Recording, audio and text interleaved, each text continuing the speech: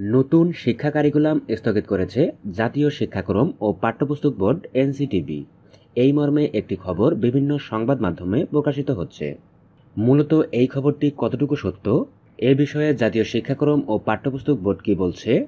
এই পুরো বিষয়টি ক্লিয়ার করার জন্য আজকের এই ভিডিওটি বানানো। আশা করছি এই ভিডিওটি সম্পূর্ণ দেখলে একটি ক্লিয়ার ধারণা পাবেন। নতুন শিক্ষাক্রম বাতিল নয়, প্রশিক্ষণ সংশোধন স্থগিত।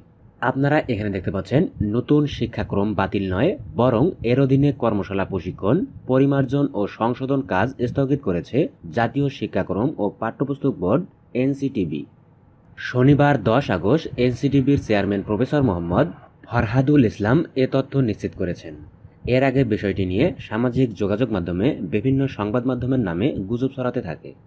বিষয়টি নিয়ে জানতে চাওয়া হয় মাধ্যমিক ও উচ্চশিক্ষা অধিদপ্তরের মাওসি স্কিম শাখার পরিচালক অধ্যাপক সৈয়দ মাহফুজ আলীর সাথে। তিনি জানিয়েছেন, আমরা এখনও এরকম কোনো সিদ্ধান্ত পাইনি। এটি মন্ত্রণালয়ের সিদ্ধান্ত। আমাদের কোনো সিদ্ধান্ত নেওয়ার সুযোগ নেই। তবে আমরা এখনও স্থগিতের কোনো সিদ্ধান্ত পাইনি।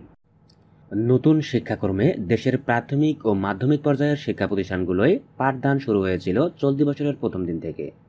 শুরুতে প্রথম, ষষ্ঠ, সপ্তম এবং বাকিগুলোতে দু হাজার চব্বিশ সাল থেকে পর্যায়ক্রমে এই শিক্ষাক্রম চালুর লক্ষ্যে কাজ করছে সরকার। নতুন শিক্ষাক্রম বাস্তবায়নের মাধ্যমে দেশের প্রচলিত শিক্ষায় আমল পরিবর্তনের মূল কারিগর, অর্থাৎ শিক্ষকরা যাতে শিক্ষার্থীদের সঙ্গে সঠিক ও প্রয়োজনীয় দক্ষতার সাথে পঠন পাঠন সম্পূর্ণ করতে পারেন, সেজন্য শুরুতেই শিক্ষকদের প্রশিক্ষণের আওতায় আনার উদ্যোগ নেয় মাধ্যমিক ও উচ্চশিক্ষা অধিদপ্তর মাউসি।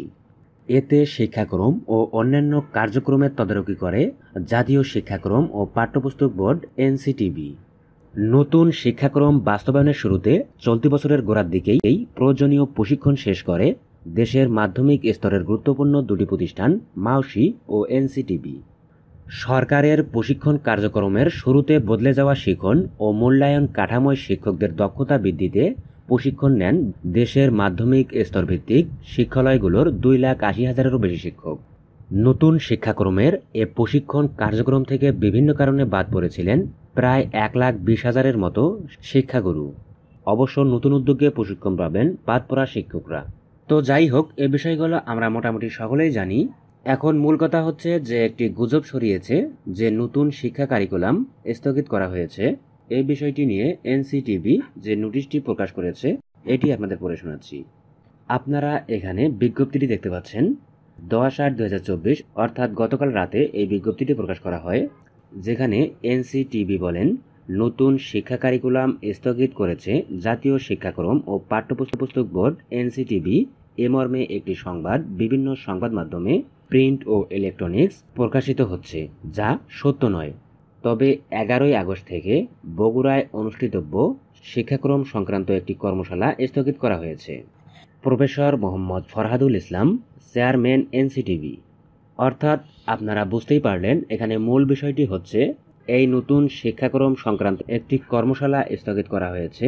নতুন শিক্ষা কারিকুলাম এখনও স্থগিত করা হবে কিনা এ বিষয়ে কোনো সিদ্ধান্ত আসেনি। শিক্ষা ও চাকরি বাকরি সংক্রান্ত সর্বশেষ আপডেট তথ্যগুলো পেতে আমাদের চাকরির খবর টোয়েন্টি ফোর ইউটিউব চ্যানেলটি এখনই সাবস্ক্রাইব করে বেলাইকনটি বাজিয়ে রাখুন। ধন্যবাদ। আল্লাহ হাফেজ।